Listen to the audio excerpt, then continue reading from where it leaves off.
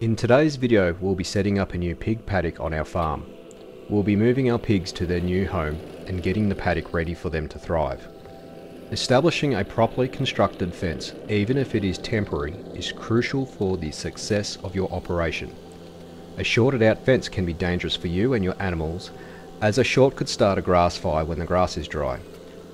However, it is important to have a strong spark in your fence to effectively train your pigs to respect the wire. To achieve this, we use the FAE DML SSL VT150 forestry mulcher attachment on our Multi-One loader. Here in Tasmania, where all snakes are venomous, the forestry mulcher can also help create safer paths by clearing thick grass and bush.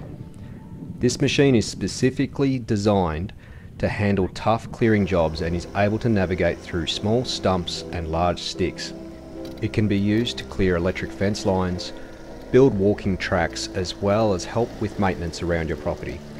If you need a reliable tool to help clear land and maintain fire breaks, the FAE Forestry Mulcher may be worth considering.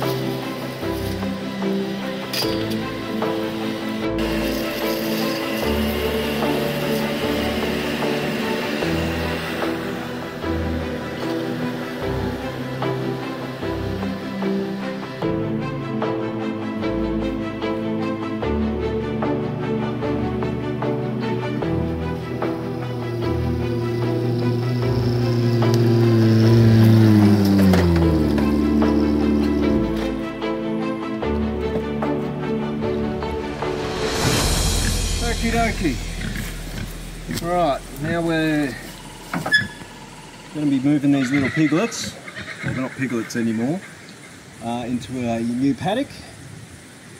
Now what I've got in the back of the ute, I've got some new fiberglass rods, which will act as our, um, our posts, a uh, whipper snipper, or what the Americans call a brush cutter, uh, post hole driver for some um, some droppers, star pickets we call them. And uh, yeah, let's get going.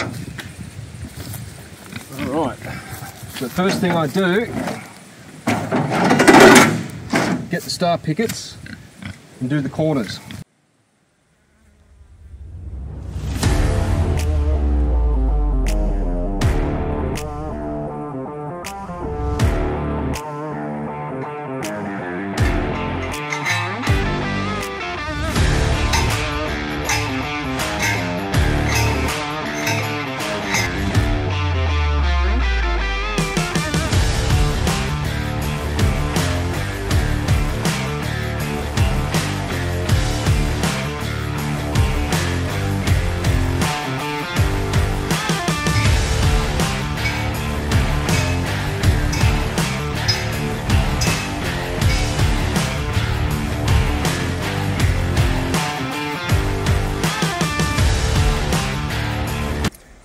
I start the wire up at that corner, Mm-hmm. uh, when it's time to open up the next paddock, I can just open up that corner. Be a lot easier because what with this paddock, I started in the opposite corner. So when it's time to move the pigs in here, I'm going to have to lift up the wire, and try and encourage them under it. And they don't like crossing the barrier. It's more of a psychological barrier than anything else. So these star pickets, mainly just to keep the line taut. This is where most of the um, pressure will be. And keep these nice and straight, just uh, few zip ties. The only thing is, you don't want them touching the metal.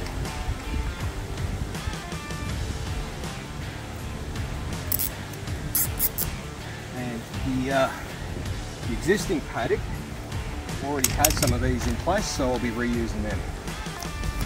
So I'll make my way up to there and I'll start running some wire.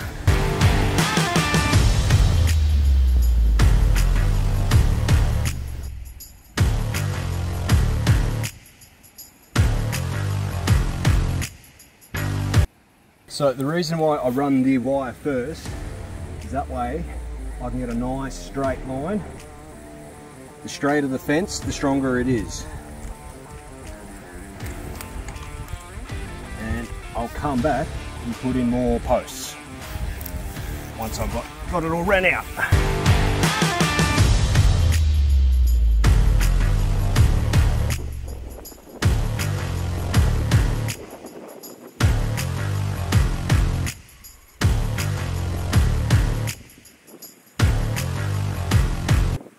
But with a nice tight straight line, don't need as many of these. However, because we are in amongst an old tree plantation, we've got these dips and rises. So we want to make sure the pigs don't just run underneath. So sometimes we've got to put these where they're not the most ideal, and I'll come back and fix up the wire in a.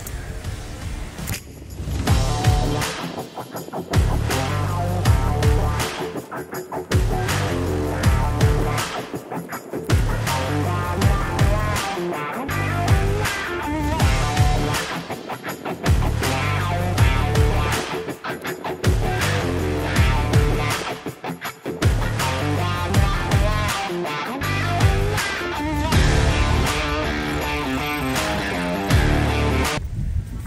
you can see, it's already starting to take shape.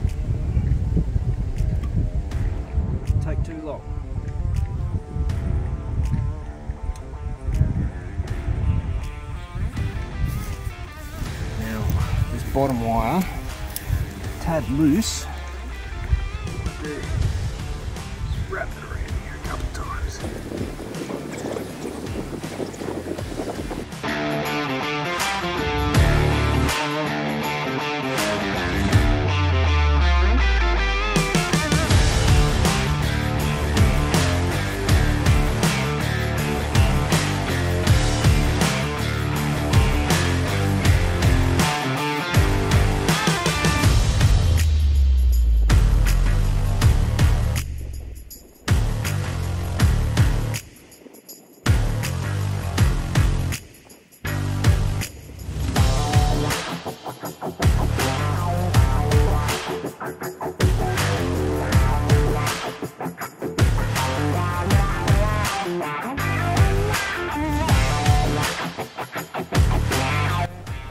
The reason we didn't use the forestry mulcher to clear this section of grass is there's an old fence line here and there's old wire in the ground and we don't want that wire wrapped up around the uh, mulcher head.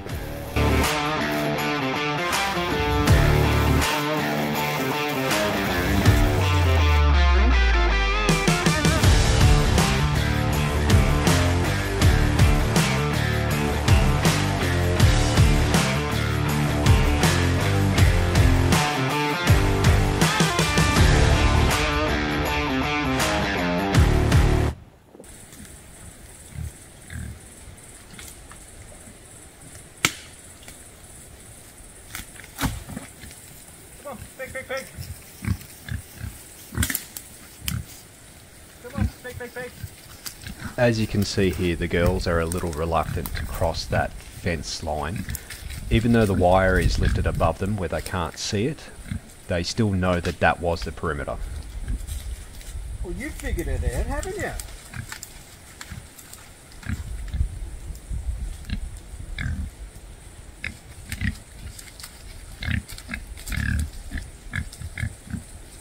That's it.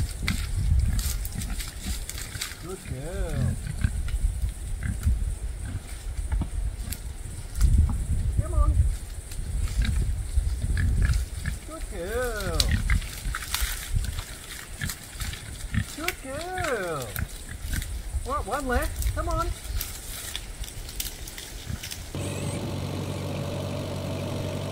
And not everything goes according to plan. One girl just did not want to cross that uh, fence line. Now we weren't going to force her because that just stresses the animal. So instead, I went to gather their food containers, uh, used the multi one, swapped out the forestry mulcher and picked up a tub of their feed, brought that back up and uh, you'll see shortly I will give them some extra feed today and as soon as she sees her sisters having a feed she can't help herself but to, uh, to come through and uh, get some for herself.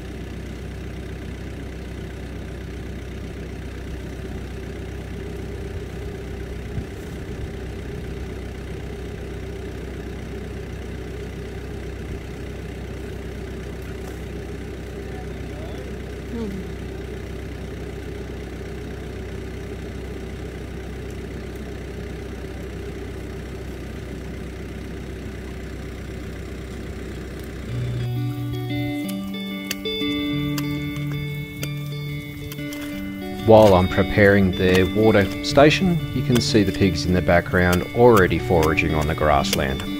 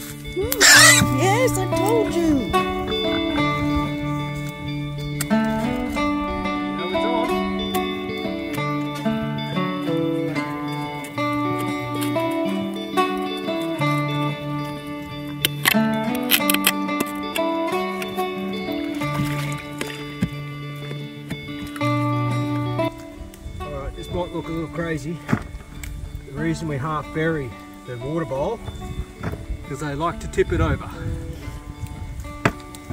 And we've got some new ones on their way. We're waiting on some barrels from the supplier.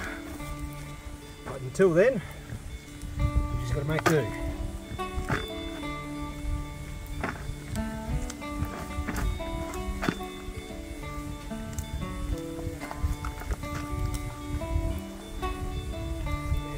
In the ground, it's harder for them to knock it over.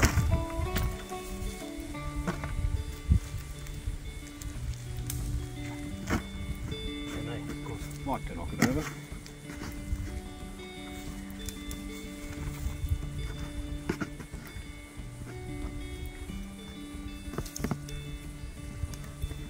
Right, let that fill up.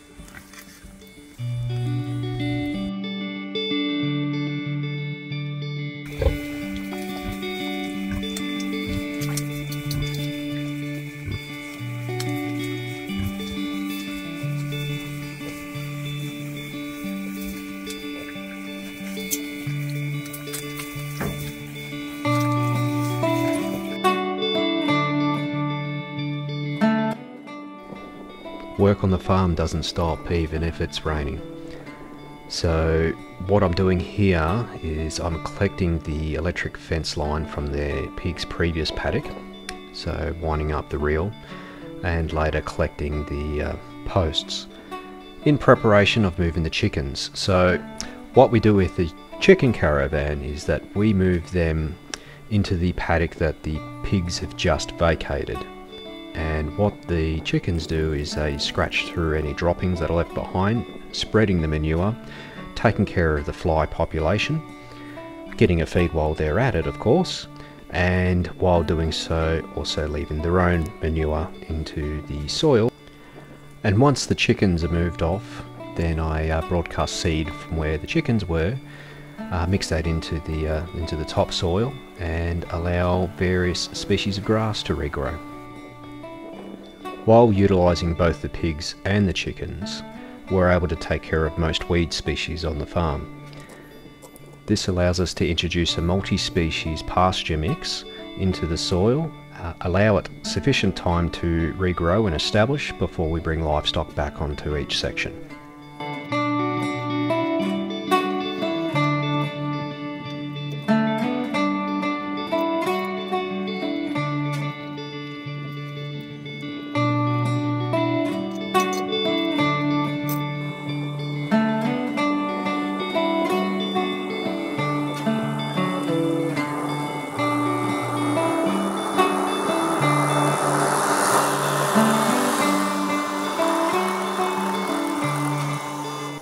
One of the great features of the Chicken Caravan 30 is the electronic control board which controls the time that the doors open and close.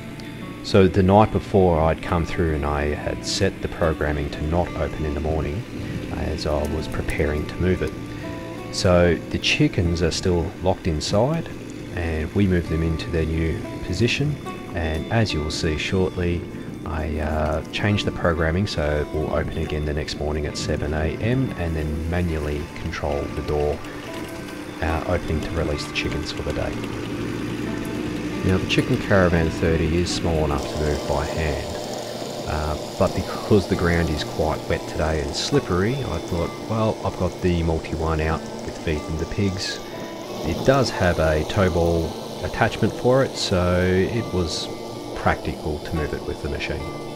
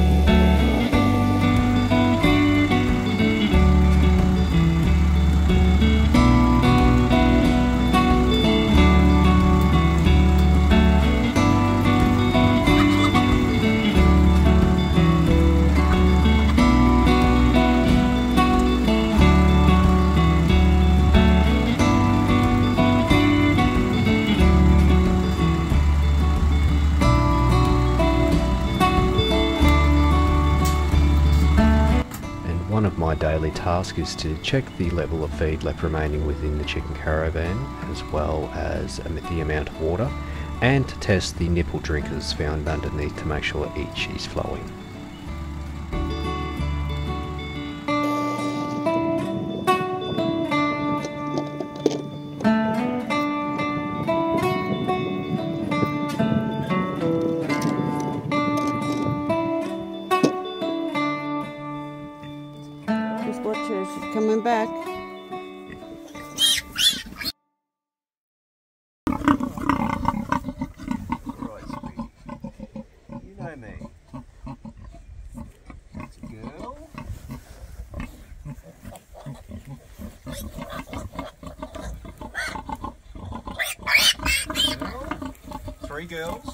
Beautiful. Hey, baby girl. What boy. Yeah.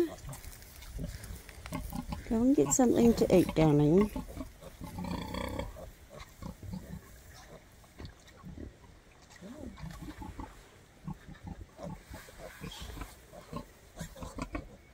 Girl. She's a good girl, I know.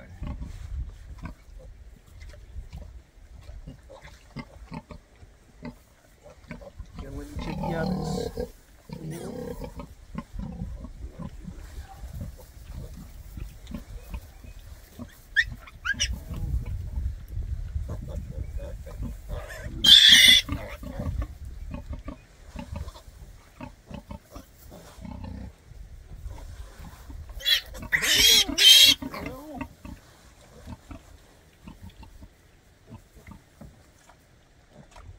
Boy. Two boys, six girls.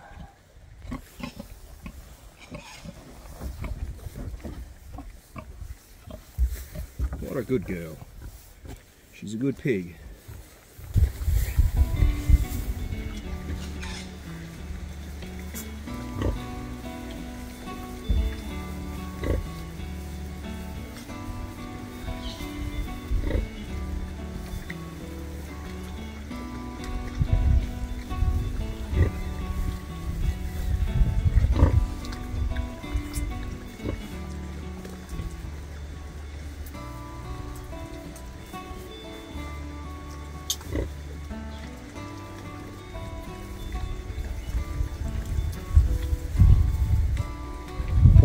We hope you enjoyed watching our little film today.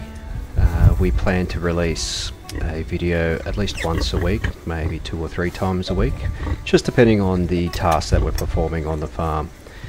Uh, hope you stick around, uh, like and subscribe to stay up to date with our videos, and we appreciate any feedback that you might uh, send us our way.